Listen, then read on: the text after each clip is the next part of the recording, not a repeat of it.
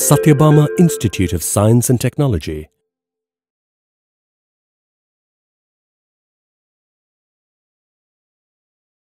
Hi everyone, this is Daphine Desona Clemency from CSE Department, Assistant Professor Sathyabama Institute of Science and Technology.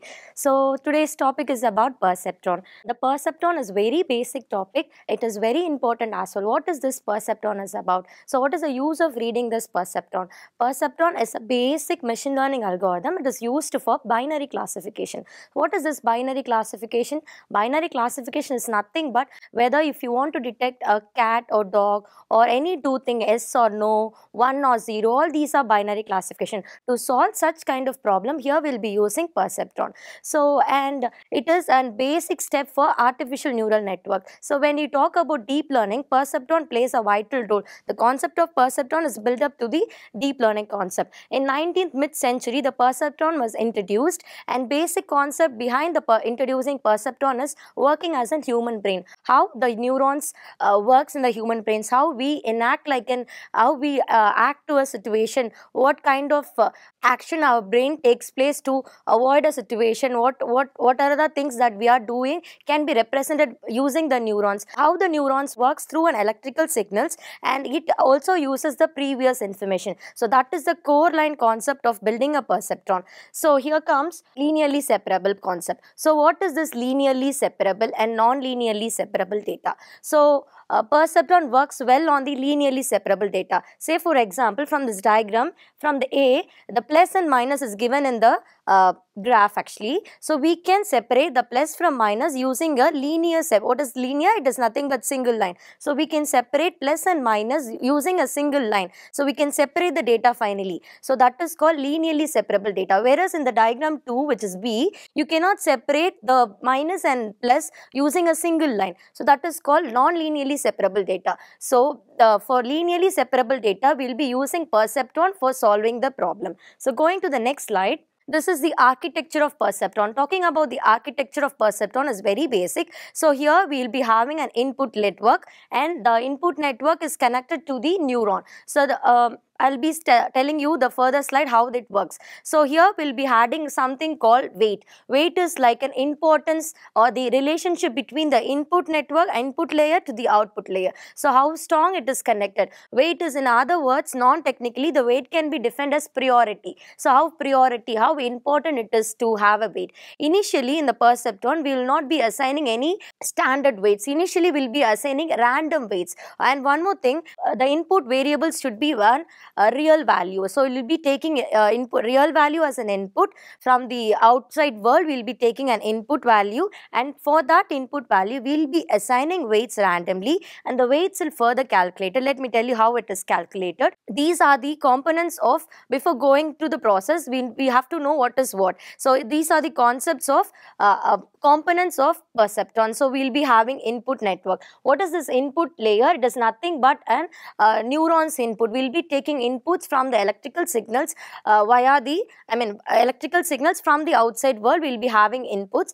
and I told you further, I told you before that input should be an real value. And coming to the weights, weights is nothing but the amount of weightage that you are going to give, the amount of importance that you are going to give to the certain inputs. So initially we will be assigning random inputs. So in not in a particular order, we will be assigning random inputs for all the weights and we will be calculating the output. So if the output is not satisfied, we will be coming back and we will be adjusting the weight or updating the weights.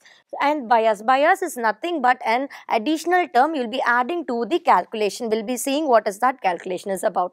Activation function. So the most important thing that decides the output here in perceptron is activation function. What is that activation function? It helps you to uh, whether the neurons is fired or not. It helps you to check whether the, uh, the corresponding input uh, multiplied with the weight is working out or not. So for that we will be using a technical term fired or not. What is meant by firing which is nothing but the neurons gets activated or not. Okay, so we will be having a number of activation function. I have listed only three. We will be having a number of activation function. So here I have given step function, sine function and sigma function. Every function has an uh, boundary value which is 0 to 1, it is minus 1 to plus 1 and again it is 0.1. According to the problem, according to the scenario, we will be changing the activation function. So activation function plays a vital role when you are learning machine learning and you will be getting an output. The output value is a binary output. So a, uh, either it can be 0 or it can be 1. If it is 0, the neurons is not fired or not activated. If it is 1, yes, you have got an output. Going to the next slide, this is a basic diagram for perceptron. So here in this diagram, you will be having x1, x2, x3, no, which is called your input value. It can be of xn, I mean xi. W term is represented as w1, w2, which is called nothing but your uh, weight term. So I've I, I've told you what is uh, activation function. I told you how to calculate it, right? So all this action will be done in this neuron. So this is the when this neurons you will be having. Uh, you need to calculate the. Uh, you need to multiply the your input value with your weight value, and one more thing is added. Bias should be added to it, and and followed by you need to calculate the activation function. So this diagram I have elaborated this diagram in this form. So this is how you will be representing. So here is an input value. Here will be a corresponding weight value. The corresponding weight should be random value. Initially the weight should be random value, and then we will be summing up this, which is summation of xi into y, wi plus your bias value. Bias is a constant value you will be using, and then you will be going up. That value will be represented in the function called z. So obviously you come up with an equation. Now z is equal to summation of xi into wi, right?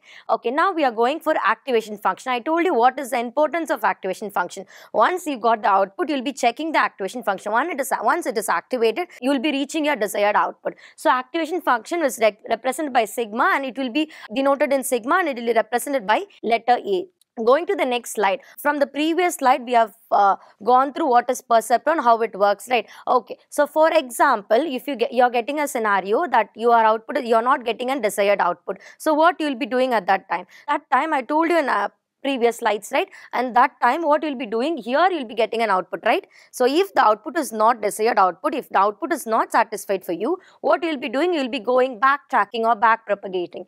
You'll be backtracking to the weights and you'll be updating the weights. This is what the uh, complete perceptron rule. So while reading this no, you will be understanding how the deep learning concept works. Okay, here you will be dealing with one layer. So in deep learning concept, you will be dealing with multiple thousands of layers you will be dealing with. That is the only difference. That is why it is framed as building block or a uh, baby step for knowing your deep learning concept going on to the next slide. So here uh, that we have explained it, what I have explained you what is W, what is A, what is B and what is X. What is W is again, it is an real valued weights and again one more time I am repeating, the weight should be, initially the weight should be a random weight. Without knowing the importance or without knowing the uh, relationship between the input and the output, you will be assigning the random weights. The weight can be of random and the B is called bias. Bias is nothing but an, an additional value which your output function and X is your input value and this is how we frames the equation. I told you in the previous slide.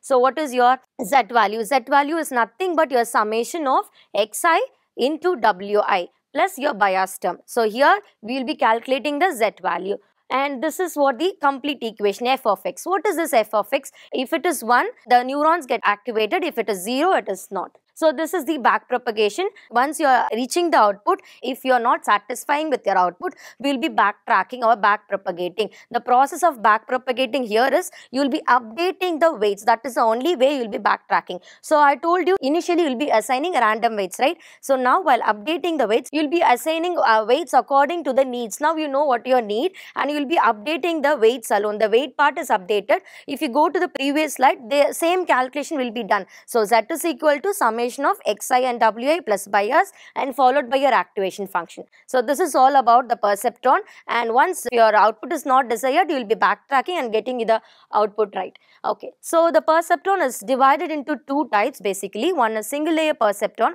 and other one is multi-layer perceptron. Single layer perceptron is what we saw so far. Multi-layer perceptron you will be having it, uh, multiple layers. So which is nothing but and one more major difference, uh, difference between this both is in single layer perceptron you can solve linearly separable problem which, I told you in the slide 2 it seems. So what is linearly separable right? In using multi-layer perceptron we can able to solve non-linearly separable data also. That is the one more advantage of multi-layer perceptron. So here these are the limitations. So comparing to perceptron basically it works I, though we have two concepts we can solve either multi, uh, linearly separable and also we can uh, we can also solve the non-linearly separable data using multi-layer perceptron.